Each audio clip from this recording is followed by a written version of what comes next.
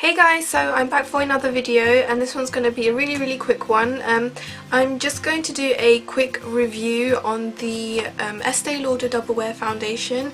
Um, as you guys know, I have worn this foundation a hundred times already and I, I know how it is on the skin, so it's not going to be a first impression, just a review because I want a lot of reviews and first impressions of foundations on my channel so that it's helpful to many girls out there that are looking um, for foundations for their skin types, their skin tone and like when they're buying online if they want to see what shade they are. I just want it to just be out there so it's helpful to many girls because I wish there was more girls on YouTube that had my skin tone for foundation so that I could see if I'm their skin shade if that makes sense. So that's why I'm going to post this up on my channel. It's going to be a super quick video. I'm just going to let you know what the pros and cons are to this foundation. I have, I have it now on but um, I'm just going to apply it and tell you what I like about the foundation and what moisturizers to wear because I have dry skin so obviously this foundation is for more is more for oily skin types but um, I obviously have dry skin so um, I just let you know how I managed to wear it because I this is one of my favourite foundations ever. So yeah, I will just go straight on to the video and I hope you guys enjoy it. So I have the foundation right here and I am in the shade 4W2 which is Toasty Toffee and this is the perfect shade I have out of all my foundations. It just has a really really lovely warm olive tone to it and I just really love it. And the good thing about this foundation is that many shades are available with this foundation so there's a foundation shade for everyone. So um, they, they, even have very very deep ones and I'm not sure about the fair ones but there's a there's a huge colour range basically. So yeah this is what it looks like. The packaging is very fancy. The only downside to it I would say is that it doesn't come with a pump um, and mine's nearly empty because I've been using this so much and it says that it's um, stay in place makeup with SPF 10 which is quite good. This foundation is recommended for like oily skin types or combination.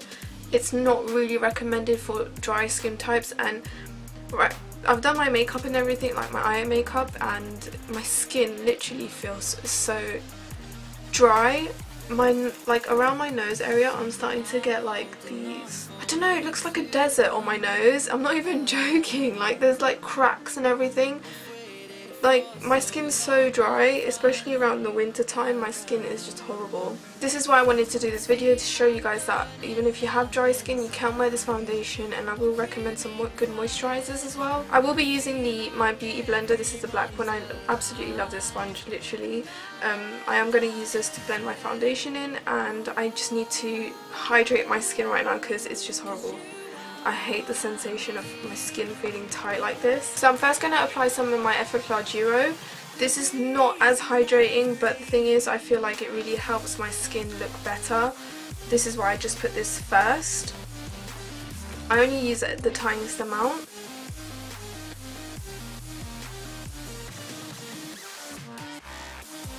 Oh, just putting something on my face feels so much better. What is this? Then my holy, holy grail moisturizer is my um, Garnier Moisture Match Cream. It used to be called that, but now it's called Moisture Nourish Plus.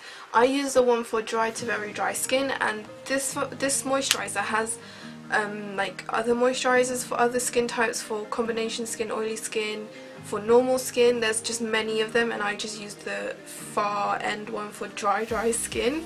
And I'm telling you this just sits amazing on the skin.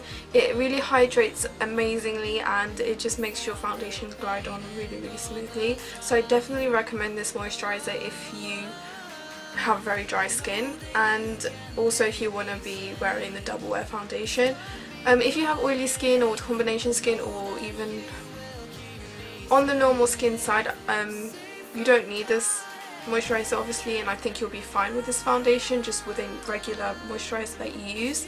But if you have dry skin definitely try this out. Um, apparently Embryolisse moisturizers are good but I haven't had the chance to try them yet and they are they're more on that like high-end side so maybe one day and I'll let you guys know if I like that or not but for now I really like this one I really like massages into my skin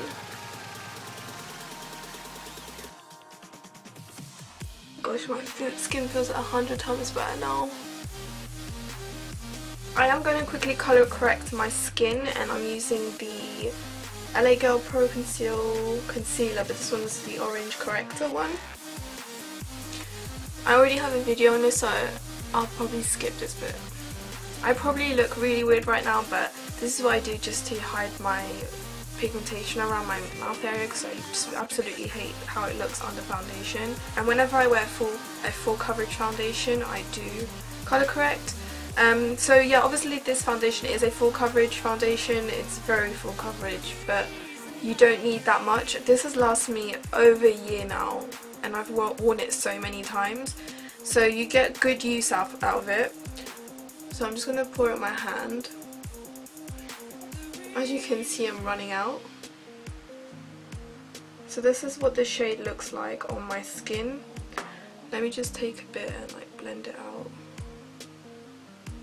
Because you know this is really helpful to like for girls who are looking for their right shade. So that's how it blends on my skin. So as you can see it's a perfect shade. Um, the foundation is quite runny. But yeah, just like if you just want to know about that. I don't mind whether it's runny or thick. I don't really care really. So I just dot this around my face. And what was le left on my hand, I just like rub it on my neck area. So I'm now going to take my beauty blender and just blend everything out.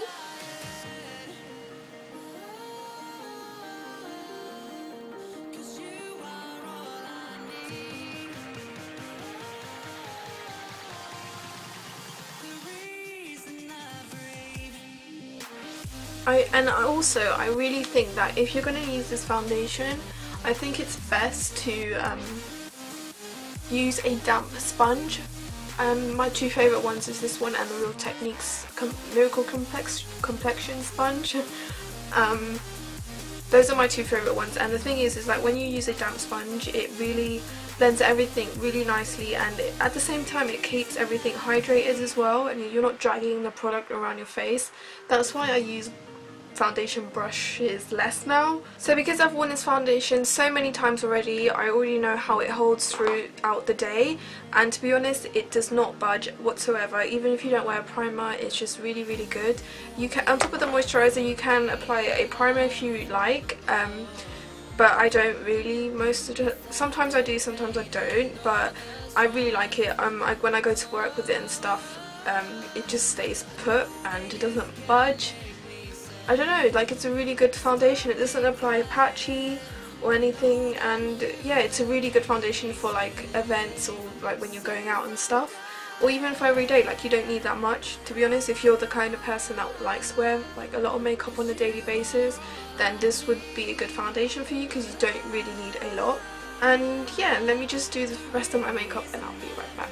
So that's the end of this video. I really hope you guys enjoyed it. Um, as you can see, the rest of my makeup really applied seamlessly on my skin and on the foundation I mean but um, I just really love this foundation and I really recommend it to anyone out there whether you have dry skin, oily skin, normal skin I think it's good for everyone even though it is recommended for more oily skin types um, and I do really hope you guys found this video helpful and I just thought I'll just put it out there so that it's helpful to some of you. And yeah, until next time, I'll see you then.